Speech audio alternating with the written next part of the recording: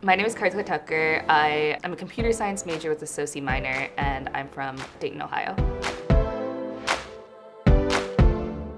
I kind of have tried to think about like my interest in computer science and a lot of that is with digital law and like data governance and things like that. So I've also throughout my time at Rice been able to like curate kind of a capstone called like Computers in Society where I'm exploring computer science through these social science lenses. So I've taken classes about ethics and classes about how I think like communication in the digital age and how it affects the way like humans interact with each other to do like different computer science things and having different technologies emerge.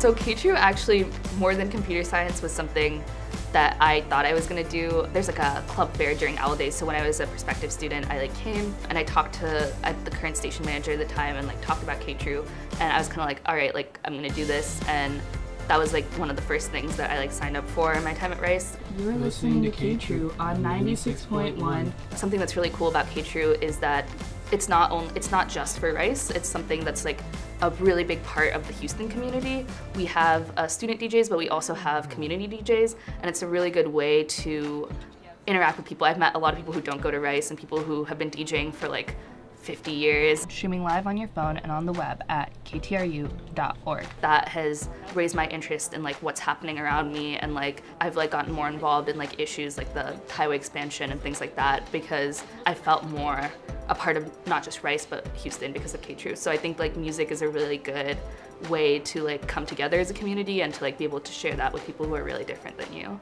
Okay, well I just wanted to commend you on your selection and uh, diversity. I've been really lucky to get like getting a BS is kind of a big deal in computer science and I'd like to be like tech or tech adjacent but I want to be working on issues some way that we're like building better cities, building better communities and finding ways to like connect people and tell stories and like share that and I think that that's really broad and really big but I think that something that Rice has taught me is that you can kind of go after your interests and you'll find a way to like bring them all together and there'll be and there's like always a space for that.